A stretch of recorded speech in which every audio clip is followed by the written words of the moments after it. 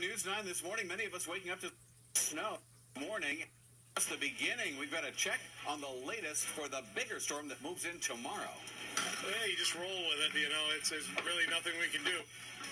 Not everyone is disappointed by the frigid temperatures, the big hockey tournament going on, and what this weather means for them.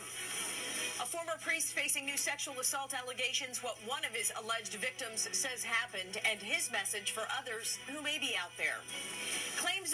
Claims voter fraud in the Granite State, why President Trump says Kelly Ayotte lost the election. No one covers New Hampshire like we do. Now, WMUR News 9 this morning. Good morning, New Hampshire, 6 o'clock on this Saturday, February 11th. I'm Amy Coveno. And good morning. I'm Riley King. Let's go to meteorologist Josh Judge with a quick check of the weather. Good morning, Josh.